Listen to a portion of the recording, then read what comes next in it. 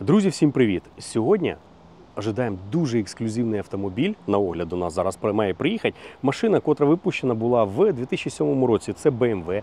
BMW M6, це 5-кілограмовий двигун, це V10. Тоді, в 2007-му, дуже у багатьох людей не вистачило коштів. По-перше, коштів доторкнутися до цього автомобіля. А друге, що ця серія вона була дуже сильно обмежена. І таких машин є небагато.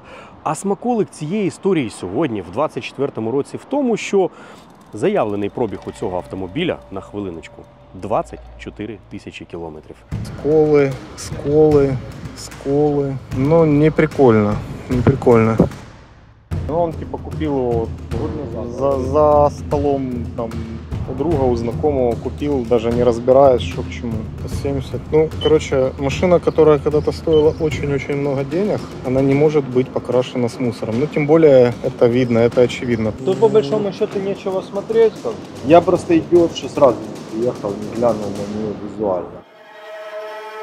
Традиційно про саме замовлення. Це разовий огляд. Чому разовий? Тому що таких машин вона аж одна в Україні. Їх більше тупо немає.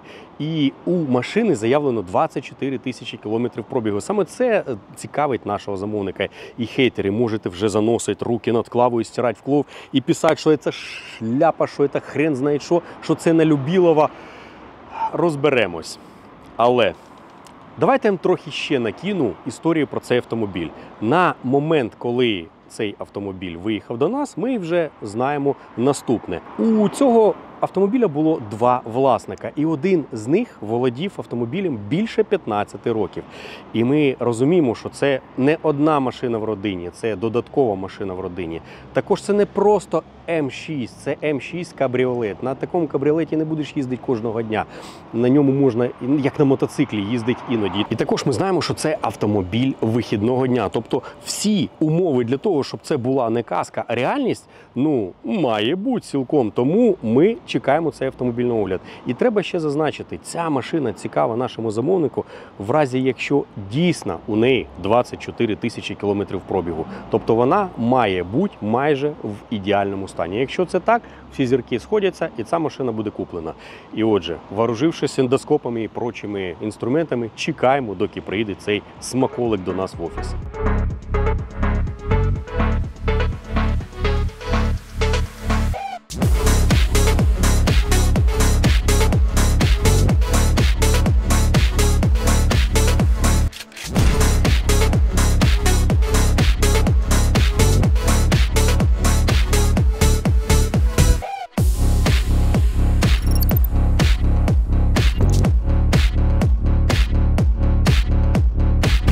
Огляд закінчено.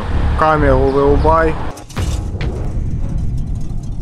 Так, доброго дня. Вот наш аппаратик. Наполированный, натертый. Но есть нюансы. Голограмма, вижу, от полировки голограмма пробивается. Значит, первое, что бросается в глаза. э, сильно не в зазоре. Бампер просто на полпальца не в зазоре. Раз. Точно та же история здесь. То есть бампер у нас не сидит не сидит в своем месте. Это раз. Здесь сразу видно, даже толщик не достал. Вот отвалилась кусок краски на кромке капота. Это два. Вот тут вот мы видим, не знаю, камера передаст, вот в этом месте голограмму от полировки. Вот тут вот мы, мы видим, попробую тоже показать, чтобы не лапать. Вот, допустим, вот это следы покраски. Этот капот красился. Вот здесь тоже это все видно, очевидно. Крыло пластиковое мы толщиком не пробьем, но по нему я тоже могу вот показать вот следы краски. Вот, вот это, это мусоринка, стойка. Э, На стойке тоже мусор. Двери та же история. По крылу вот очевидно. Ну, во-первых, оно зацарапанное, вот вы видите, э, зацарапанное. Во-вторых, во-вторых, во-вторых, где-то тут прям вот, прям очень сильно видно, прям очень. Постараюсь, вот. Вот, вот это мусор тоже. Так, дальше вот этот пластик. По пластику также видим, вот кромка, невооруженным глазом видно вот это вот крашеная кромка. Вот тут видим, насколько вот здесь вот переборщили краски. Крышка багажника пластиковая тоже. Вот это вот сломанный уголок. Так, это я даже еще толщик не взял. Ни разу не пикнул. Шилды вот эти переклеивались. Это очевидно. Ну, сама крышка тоже вы сами видите. Вот она немного выше стоит, чем вот это.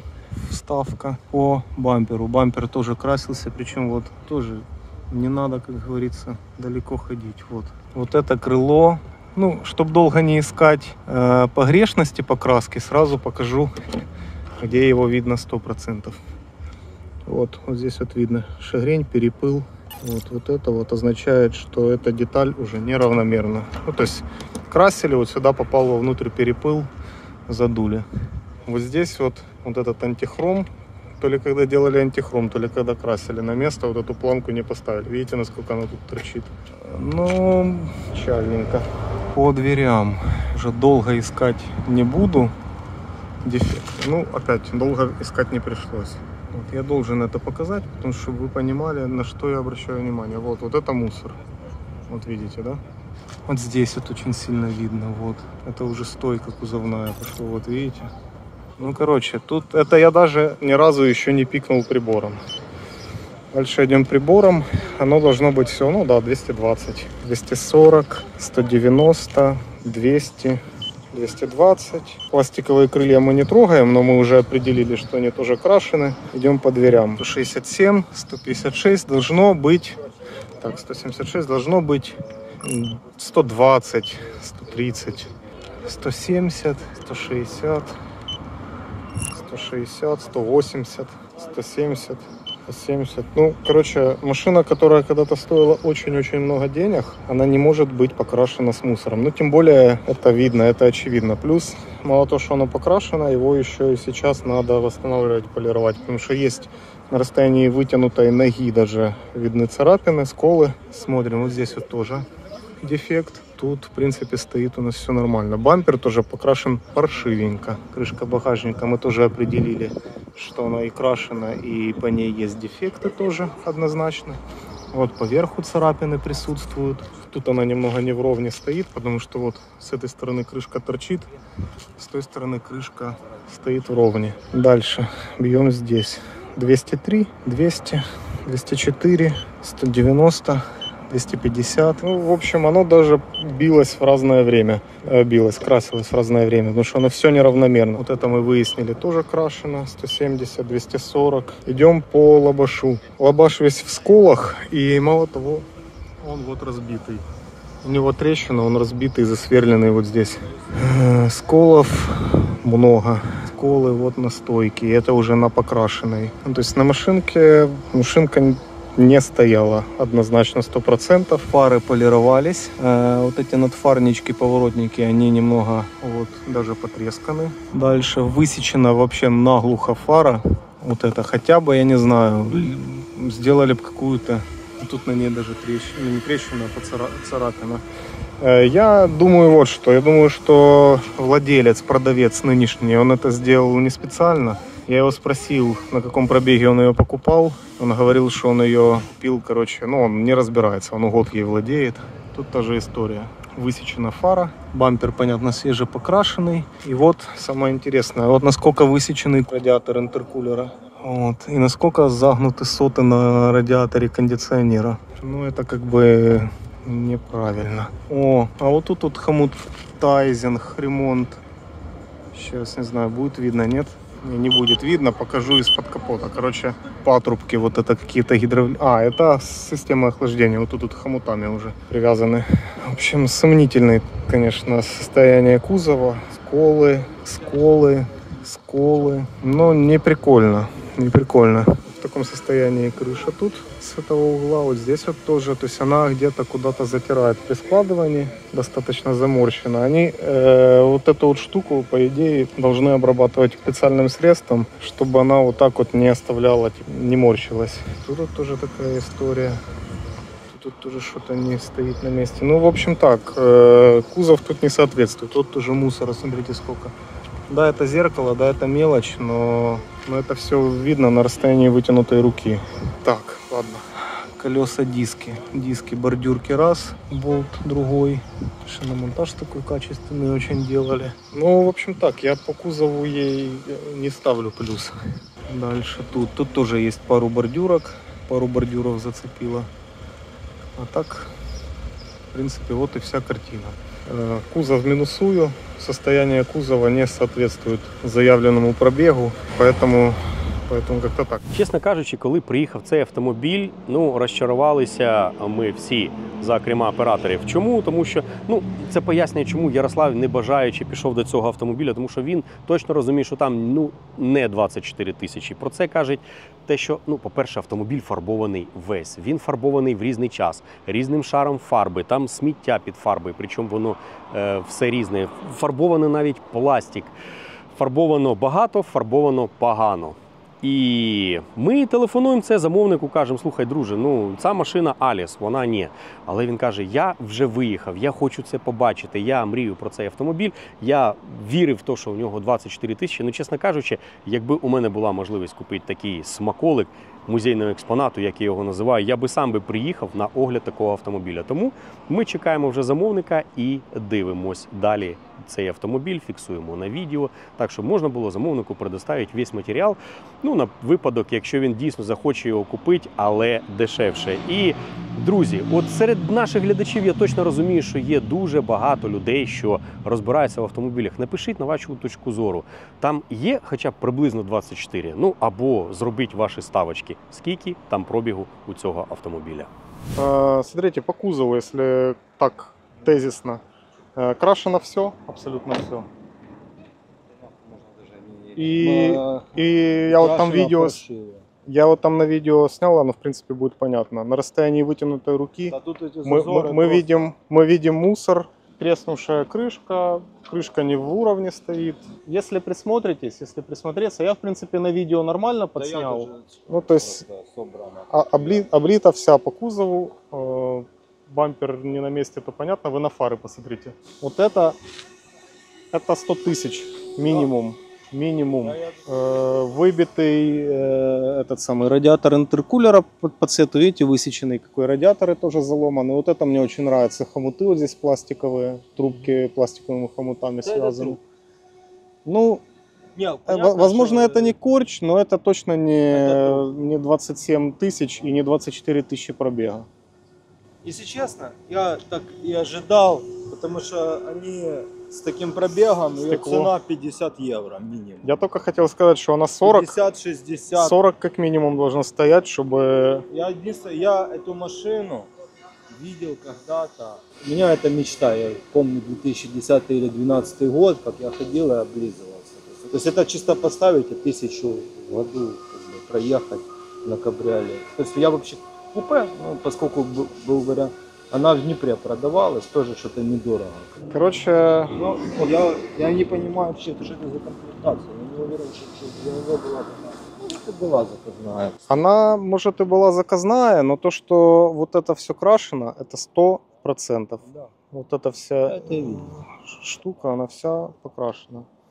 Ну, для них, для вот этого всего оздобления, скажем так, 27 тысяч это новое состояние. Да, тогда BMW делались не так, как сейчас. То есть 27 тысяч. Это... Я даже видел машины такие с, с нормальным соткой, и они еще с, с нормальным уходом. Она лучше выглядела. Руля нема. Так руль, все. Короче, Ну, тут по большому счету нечего смотреть, как бы. Я просто идиот, что сразу не приехал, не глянул на нее визуально, как бы, да, у человека.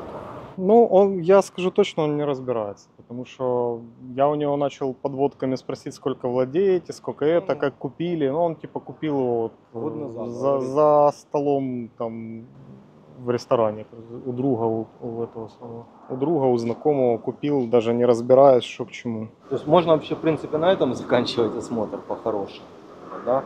Ну, раз ее уже заплатили, вам для, собственно, Давайте я для... закончу, в принципе, хотя бы салон под капот и диагностику сделаю, просто Мгм. чтобы полноценная, скажем, какая-то была. Эндоскоп уже тогда отменяем. Не, эндоскоп однозначно отменяем, и вам, вам может тоже интересно для технического experience а. как бы. Ну, просто для, Таких скажем, автомобилей уже немного осталось. Ну, таких именно, да. Обычный 63 попадался, конечно, а так вот именно в заводском настоящем М6, то, конечно, то, конечно, не попадалось. Их всего я- там, по-моему, пару штук сейчас продается, да, если не ошибаюсь? А ну, сейчас чисто интересно уже при вас раз под капотки смотрим защиты Э, Ни защиты, шумки нема. Э, Капот крутился, даже не прятали этого тут по крылу. Не вижу, чтобы крутилось по крылу. Не видно. Э, Фары перепаковывались однозначно. Вот даже сломано ухо одно. Здесь вот дальше смотрим.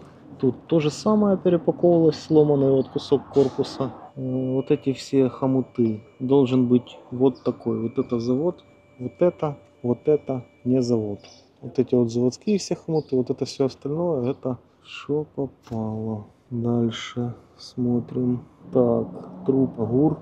Вон она немного с нее сочится жидкость. На самом деле тут самое интересное будет внутри, но и снаружи тоже есть на что посмотреть. Тут есть очень много моментов по несоответствию пробега, что в принципе уже очевидно. Тут тоже трубки ГУРа потеют, тоже трубки ГУРа надо менять по-хорошему. Здесь вот тоже уже лазили.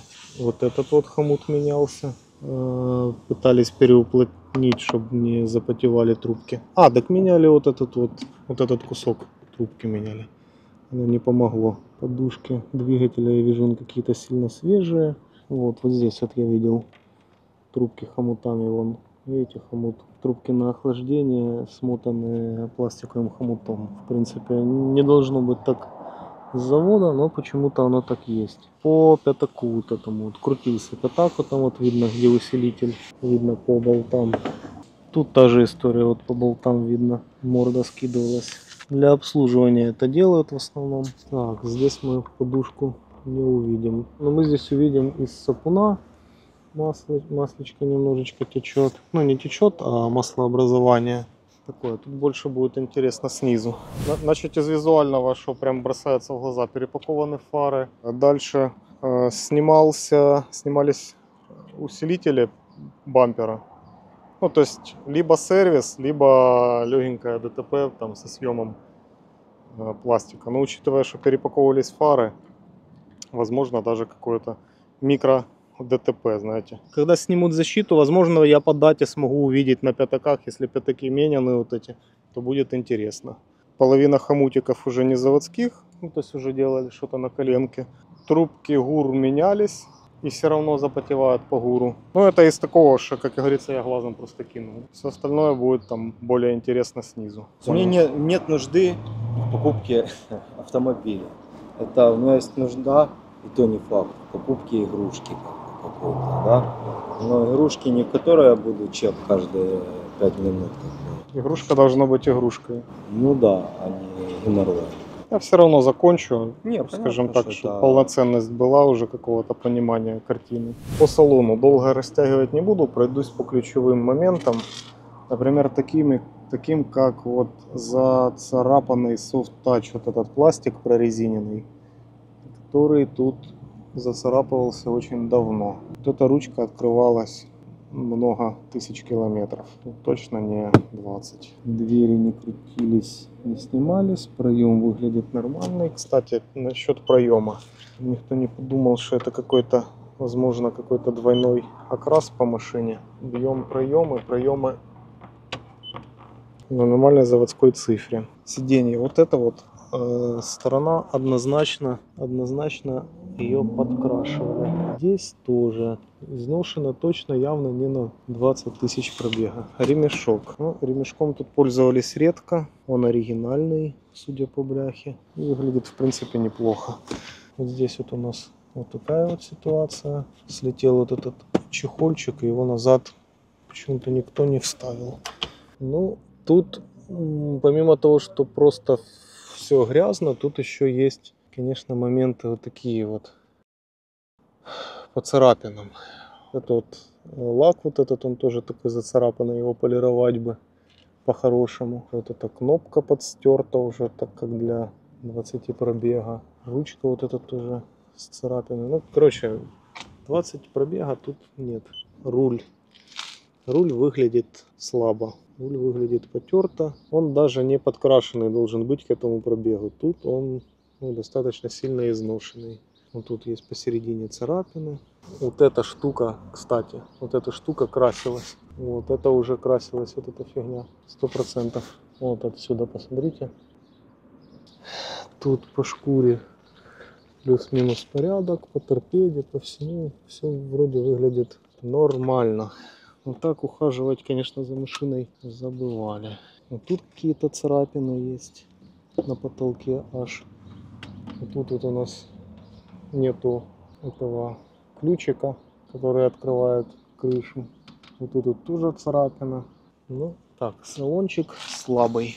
Вот здесь вот мне не нравится, как топорщится резинка. Тут вот что-то недособрали или недоразобрали.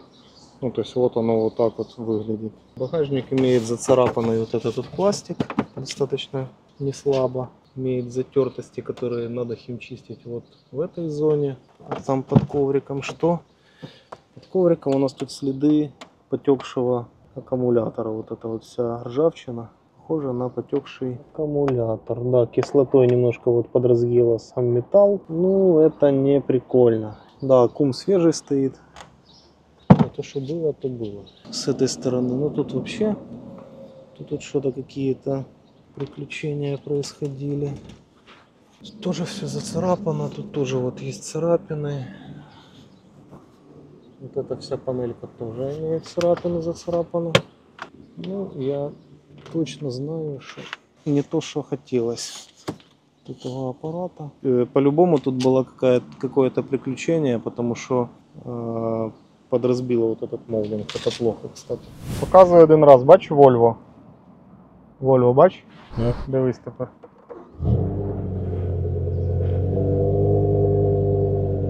Volvo робить що?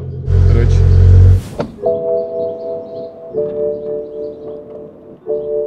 Блин, ну ее нахуй, я не буду читать ее. что случилось? Да она не что-то то включается, то не включается. На подъемник! Богдан, пальцы положишь? Давай, давай, давай.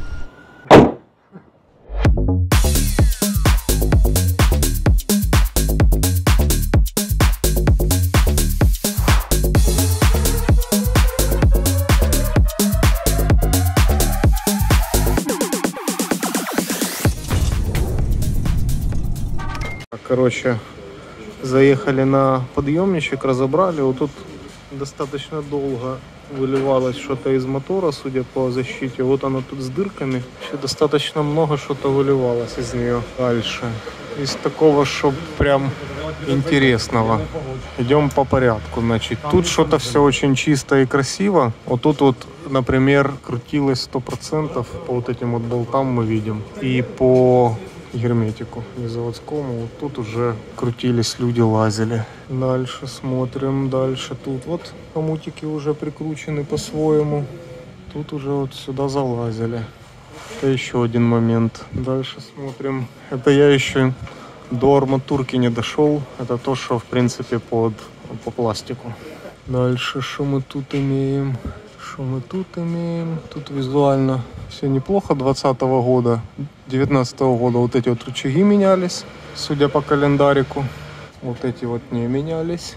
Втулки стаба тоже не менялись. Вот эти вот стойки стабилизатора. Ну, во-первых, вот эта вот стойка крутилась. Я не уверен, что на пробеге в 20 она крутится.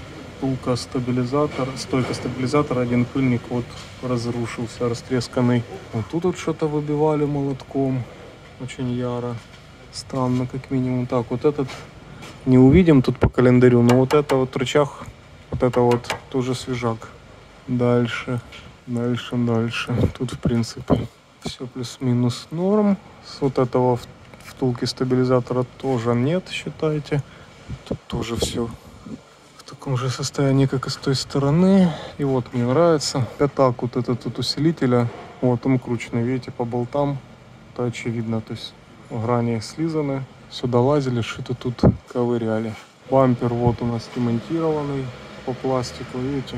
То есть так, как я и говорил, что-то все-таки сюда вклеились. Так легенько что-то вот тут вот поломали. Дальше вот это все уже собрано не по заводу. Вот этот пластик корпуса тоже ремонтированный. Дальше что мы имеем? В принципе, я думаю, что можно дальше не продолжать. Подкрылок. Тут провода в воздухе висят. Ну, тут даже до техники можно не доходить. Слышите, профессора? Коробочку уже тут, короче, делали. Смотри. Новое? Новое. Только-только прикрутили, видишь? 20 тысяч же прошло. Ну так, поеб... таки получало чуть-чуть. Машина всього-навсього не відповідає заявленому стану і пробігу. Все. Поганого нічого про машину не скажу. Це не корч, не дрищ, але вона не відповідає опису. От і все, точка. Мы жрать идем, нет? Да? Да. Е, осмотр осмотром, но обід по розписанню. Вибачайте. Я зараз спробую все підсумувати, всі факти забрати воєдино і вам донести свою думку. По технічці ця машина на свій Реальний пробіг, вона бездоганна. Ну, справа в тому, що ми намагалися приєднатися комп'ютером до цього автомобіля Рінгольдом і лаунчем. Нічого у нас не вийшло, тому що там стоїть додаткова сигналка і там ідуть перепіновки.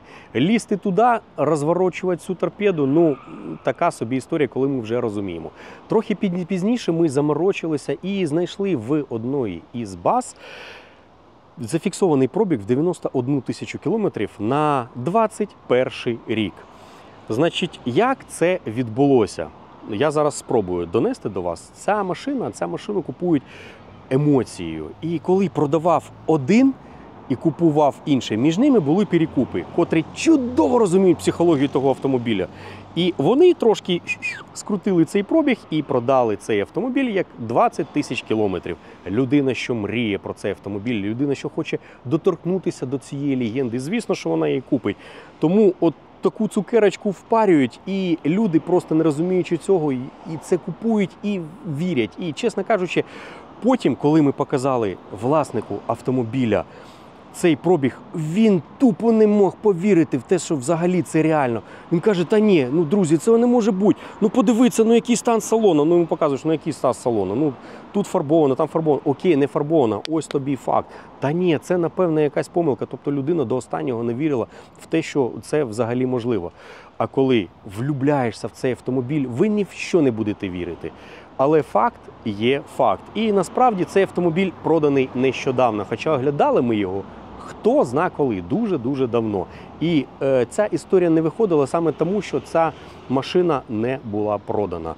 А продана вона була комусь, ну напевно, такої ж людині, що захотіла доторкнутися до легенди і повірила в те, що цей машина має 24 тисячі кілометрів пробігу.